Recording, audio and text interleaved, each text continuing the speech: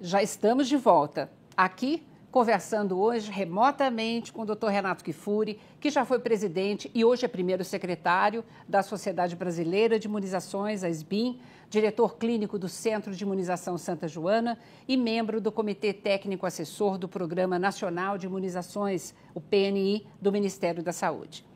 Doutor Renato, é importante, mesmo depois de uma certa idade, nós termos atualizada uma carteira de vacinação, uma caderneta de vacinação? Olha, Helena, você sabe que esse apreço por este documento, é, que é tão comum nas crianças, na, nos pais, né? O pai e a mãe sabem onde está a sua caderneta de vacina do seu filho, qual é a próxima vacina, o cuidado de não atrasar. Infelizmente, ainda nós não temos toda essa esse cuidado e esse apreço pelo documento vacinal nas demais idades. Se nós perguntarmos aí para quem nos ouve, ou para os adultos que estão nos acompanhando, quem sabe onde está a sua carteira de vacina, qual foi a sua última vacina, nós vamos encontrar uma minoria da nossa população eh, que porta esse documento, que sabe onde ele está, que dá sua devida importância. Realmente, esse é um, é um dado que nós precisamos melhorar. A informação é uma ferramenta crucial na importância de nós revelarmos para a população que, que imunizar, estar protegido contra essas doenças é um passo a mais para a sua saúde, para a manutenção do seu bem-estar, para a promoção da sua saúde e, e para a sua qualidade de vida que nós vamos ter pela frente. Nós sabemos que os idosos, por exemplo, Lina, uhum. é, que tem lá 80 anos, quando adquirem uma pneumonia, por exemplo, uma hospitalização que mais praticamente metade dos idosos, quando adquirem uma pneumonia, são hospitalizados e muitas vezes esses idosos ficam acamados uma semana, duas semanas. O impacto que isso tem na sua qualidade de vida, muitas vezes nunca mais recuperam sua parte motora, a perda muscular. Então, nós temos consequências que vão muito além da própria infecção. Então, é preciso se cuidar. Hoje, nós temos doenças que são prevenidas por vacinação e ainda assim corremos esses riscos, eu acho que é uma coisa que temos que evitar a todo custo. Então, vamos lá. Pneumonia, como o senhor acabou de citar, até porque tem muitos idosos que morrem né, por pneumonia. É, tem vacina? Pneumonia, sim, é uma das principais causas de morte em idosos. Né? Então, a gente tem que lembrar que essas infecções respiratórias, a gripe, a própria Covid atualmente, a pneumonia, são doenças que impactam de maneira bastante significativa na mortalidade de indivíduos idosos. A pneumonia hoje pode ser prevenida, um principal agente causador de pneumonia em idosos é uma bactéria que chama pneumococo. Então, nós temos hoje duas vacinas que são igualmente importantes e aplicadas num calendário sequencial. Então, a pneumo 13 é uma vacina de rotina que a gente recomenda para indivíduos acima de 60 anos, e seis meses depois, o complemento com outra chamada pneumo 23. Então, e cinco anos depois dessa 23, uma segunda dose dessa pneumo 23. Uma vacina da pneumo 13, seis meses depois uma pneumo 23 e cinco anos depois uma segunda dose. Então, essas vacinas deveriam ser aplicadas rotineiramente naqueles indivíduos que têm mais de 60 anos. Uma doença prevenida, prevenível por vacinação, não cobre todas as pneumonias, mas cobre as principais e as mais frequentes delas. Tá, dúvida. É a pessoa que não sabe se tomou ou não tomou essa vacina.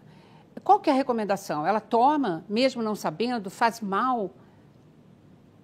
Exatamente, é na dúvida, se nós não temos registro da vacina que recebeu, não sabemos quando tomou, não sabemos se tomou, é preciso tomar vacina. Não dá para acreditar no que eu acho que eu tomei quando eu era criança, eu acho que já tinha essa vacina. Isso não vale. Nós temos que ter registro dessa vacina aplicada para termos certeza de que o indivíduo está protegido.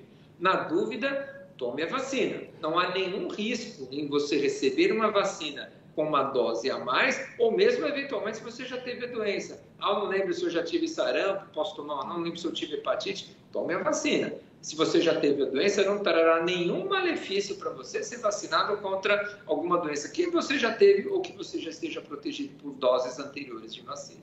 Outra dúvida. Como o senhor mencionou agora a vacina de pneumo, não é apenas uma única dose, uma única vez na vida. Né? Então, é importante tomar, é, quando a vacina tem duas ou três doses, porque se, se eu tomar só uma e depois esquecer, ou falar, ah, já estou imunizado, não imuniza de forma incompleta?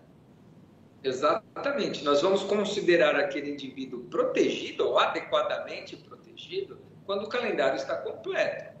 Para algumas vacinas precisamos mais de uma dose. Falamos da pneumonia, que são duas doses, a hepatite B, que são três doses. Algumas outras precisam ser repetidas com o passar do tempo, porque a proteção se perde, como é o caso do tétano, da difteria, da coqueluche, vacinas que precisam ser renovadas a cada 10 anos. E a gripe, né? Que como o vírus muda anualmente, cada ano chega um vírus diferente de gripe, nós precisamos atualizar essa vacina a versão 2020 tem uma composição, a 2021 virá com outra, e assim nós vamos aplicando anualmente as vacinas. Então, isso é que você falou muito importante, Lina. Uhum. Não é tomar uma. Algumas precisam de mais doses, algumas precisam de repetição periodicamente, e outras, como a gripe, precisam ser atualizadas conforme a variação do, do, do microorganismo, e no caso do vírus da gripe. Tá. Eu queria que o senhor explicasse um pouco para a gente sobre herpes zoster que dizem, né, os estudos, que uma cada duas pessoas acima de 85 anos vai ter herpes zoster. O senhor pode explicar o que é herpes zoster para a gente, qual o risco para a pessoa mais idosa e se a vacina é segura? Olha, para quem não está nos ouvindo aí, provavelmente muitos de vocês já devem ter tido um, episódio de herpes zoster ou deve conhecer alguém que teve um herpes zoster, né? O herpes zoster nada mais é do que a reativação da catapora que a gente teve lá na infância. Então, uma vez que a gente teve a doença catapora quando criança, o vírus da catapora ele fica latente. Então, ele fica lá no nosso organismo, nos gângliozinhos, perto da coluna lá atrás. Com o passar do tempo, com o nosso envelhecimento do sistema imunológico, ele pode ser reativado. Nós baixamos nossa resistência e aquele vírus que está adormecido, quietinho lá nesse gânglio, ele percorre o trajeto do nervo, ele vai pela bainha do nervo e atinge a nossa pele. Por isso ele faz aquele desenho no corpo como uma faixa. Pode ser no tórax, pode ser na perna, pode ser na cabeça. São os lugares mais frequentes, geralmente no tronco, nos membros superiores e inferiores e na cabeça. E olha, é muito doloroso. Essas lesões doem, incomodam, às vezes infeccionam, pode atingir os olhos, tendo uma neurite uma inflamação do nervo oftálmico, então pode ter consequências até graves. Então, hoje, a gente consegue, através de uma vacina, prevenir esses episódios.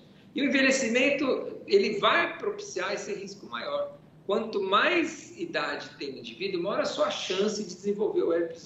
Por isso que a gente só vacina depois de 60 anos. Não há recomendação de vacinar com 30, com 40, com 50.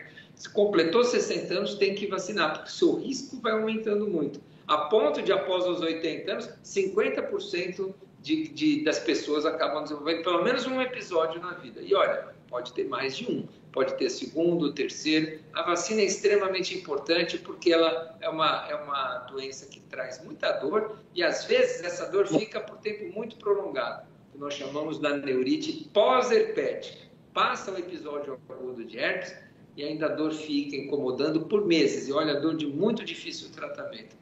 Essa é uma doença que precisamos prevenir sim nos idosos.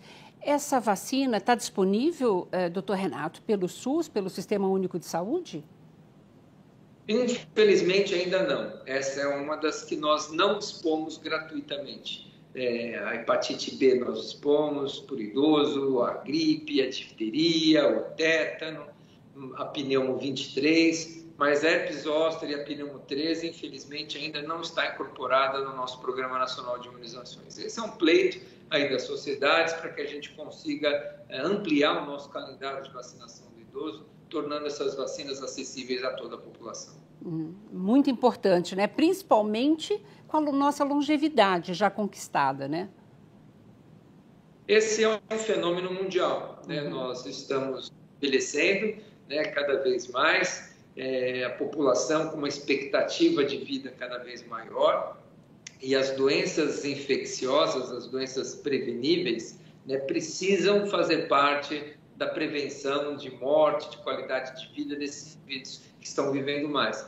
Nós somos uma geração que vamos viver cada vez mais E essas doenças crônicas que nos acompanharão inexoravelmente, problemas de locomoção, demência, doenças infecciosas, doenças cardiovasculares, precisam ser prevenidas. O olhar integrado da saúde do idoso passa necessariamente por prevenção de doenças, porque, como eu falei, elas não impactam simplesmente na doença em si. Um diabético que adquire uma gripe descompensa o seu diabético, sua doença cardíaca. Há muitos casos associando eh, eh, fenômenos de gripe com infarto agudo do miocárdio, com desenvolvimento depois de ataque isquêmico cerebral, AVC, com herpes zoster, mesma coisa é, internações por pneumonias, levando a, a esses indivíduos a serem acamados e uma piora na sua qualidade de vida muito grande. Então, essas doenças impactam na saúde do idoso, não necessariamente só relacionada à própria infecção, mas todas as consequências que advêm dos tratamentos, da hospitalização causadas por essas infecções que poderiam ter sido evitadas.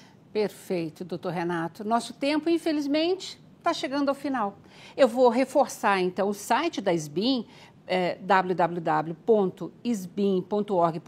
porque lá tem o calendário, né, mostrando a vacinação, as vacinas disponíveis pelo SUS, pelo Sistema Único de Saúde, gratuito à população, e as vacinas que só são adquiridas nas clínicas particulares, né? Muitíssimo obrigada pela sua participação, viu, doutor Renato?